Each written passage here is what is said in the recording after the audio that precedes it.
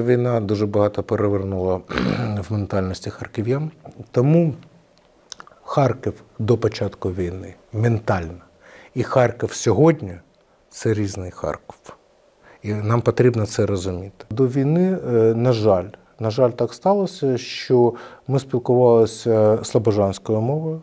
Е, І е, тому я хотів перейти на українську мову, щоб е, мене не було соромно. Е, Харків набагато став україномовним. І сьогодні, е, знаєте, коли ти йдеш, тебе вітають доброго дня чи вітаю. А раніше було здрасте, привіт. Тому ні. І люди хочуть переходити, хочуть. Я, я, я бачу, молодь вся хоче переходити.